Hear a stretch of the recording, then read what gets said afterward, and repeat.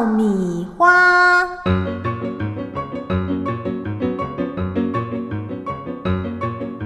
是活泼的，是有盼望的，是追求真善美的。让我们一同爆出生命的色彩，享受欢乐的时光。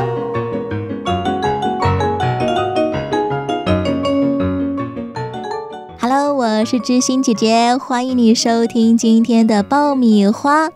亲爱的大朋友、小朋友、弟弟妹妹，你今天过得好不好呢？有没有人跟你一块儿收听爆米花？是你的家人、同学、朋友，还是邻居？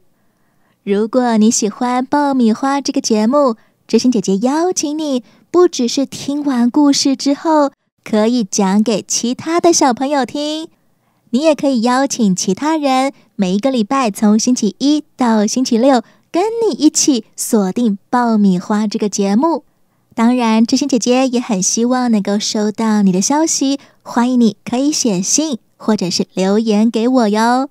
今天，让我们再来听好听的故事吧。好树不结坏果子，坏树不结好果子。我们都要结出好果子，好果子就是好品格。所以，小朋友，你来评评理。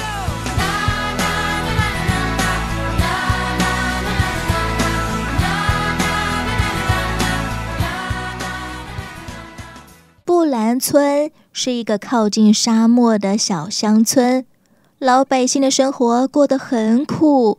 因为布兰村这里的土壤非常贫瘠，要用水很不方便。如果想要到离村子最近的一口井打水，也得走上一个钟头的路。有一天，发生了一场小地震，一阵摇晃过之后，布兰村的人发现广场中央地上竟然裂开了一道缝。里头涌出了一股细细小小的水柱，哎，这是什么？哎，是泉水，是泉水。其中一个老头子伸出他那颤抖的双手，舀了一些水放进嘴里，慢慢的喝着，发现这泉水又甜又香，啊，又香又甜。这水真好喝，我已经六十年没有见过这样的泉水，咱们真是太幸运了。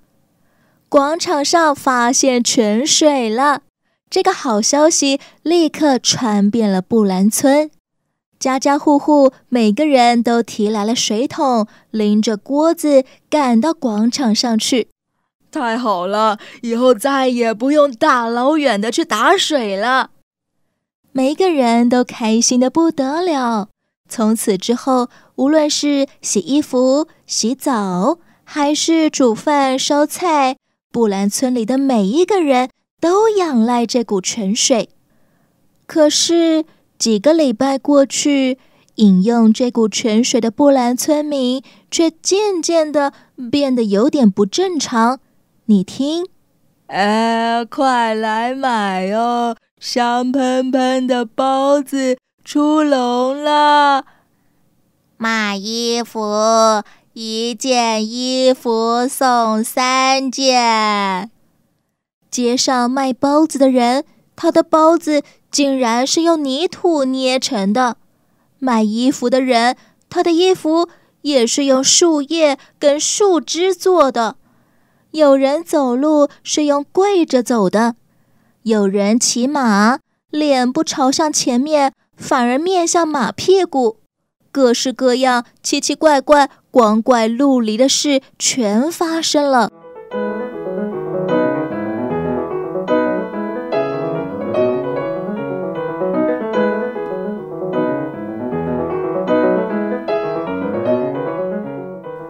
布兰村的村长看见村民个个变成这副德行。心里头非常害怕，糟糕，这是怎么回事？大家是不是都疯了？难道是喝了那股泉水的关系吗？原来啊，布兰村的村民以前从村子外提水回来，都会多囤放一点在村长家。这样子，如果临时有急用，例如发生火灾呀，大家就可以赶快用放在村长家的那些井水。自从布兰村的村民改喝广场上涌出来的那股泉水之后，就没有人再去井里头打水。也没有人去村长家要水了，而村长呢，他原本是想先把家里头的那些水给喝完，再去喝那泉水的。所以，每当广场上大家挤来挤去，争着要舀那泉水时，村长都只是远远的看着，然后回家喝他的井水。现在看到大家纷纷变成了这种疯疯癫癫的模样，村长更不敢喝那泉水了。他只好每天都花一个钟头走路走到村子外边的那口井去打水来喝。有一天下午，村长提着水桶走在往村子外那口水井的路上。遇到了一群跑出来嘻嘻哈哈、到处玩闹的村民。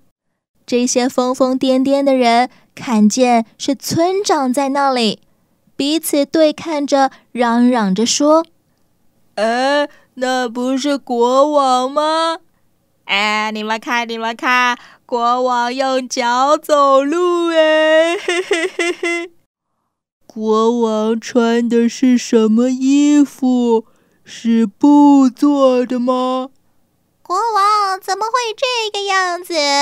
啊，他一定是发疯了。咱们应该想个办法，把国王的病给治好才对呀。这些人好像喝醉酒一样，歪歪倒倒的，一拥而上，把村长整个人抓住。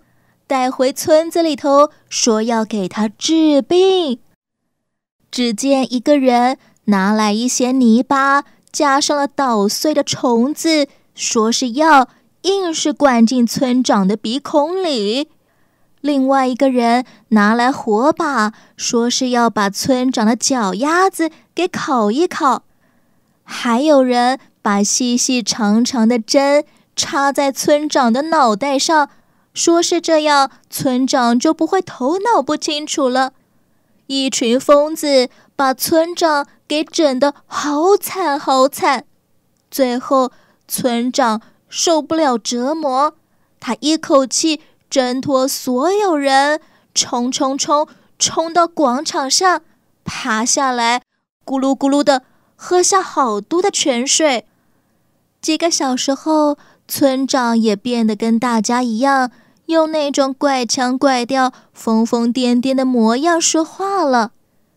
这时，布兰村的村民却纷纷的欢呼、鼓掌起来。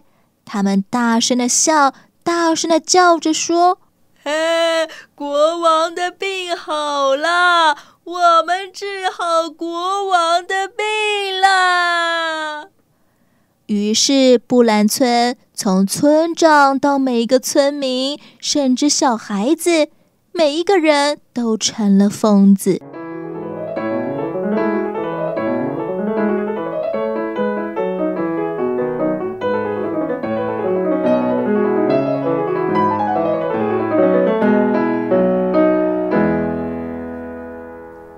亲爱的，大朋友、小朋友、弟弟妹妹，你会不会也觉得？这个村长怎么这么笨呢？当他发现这个新泉水可能有毒，会让大家都变成疯子，他不是应该要赶快把泉水堵起来，叫大家别去喝吗？为什么搞到最后自己也趴下去喝了那会使人变成疯子的泉水呢？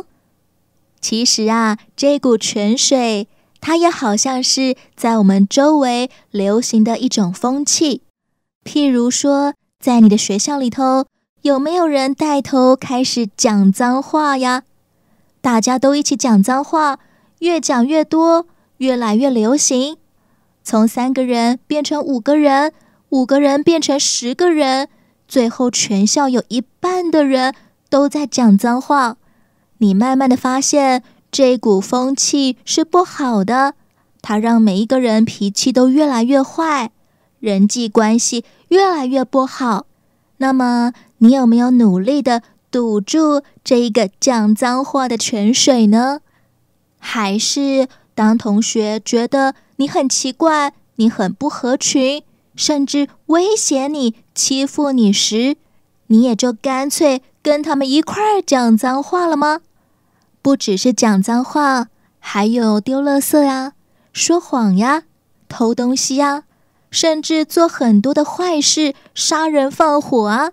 他们原本也都只是一个细细小小的泉水，只要你不喝，你就不会变成疯子。但是，当其他的疯子威胁你时，你仍然要清楚知道这是不对的。你可以拒绝，不要跟其他人一样。当他们威胁你的时候，你也可以求上帝赐给你有勇气。有智慧，可以逃跑，不同流合污，仍然选择做正确的事，好不好呢？千万千万不要跟故事中的村长一样，落到这一种愚蠢的下场了。下一次爆米花，知心姐姐再与你空中相见，拜拜。我是小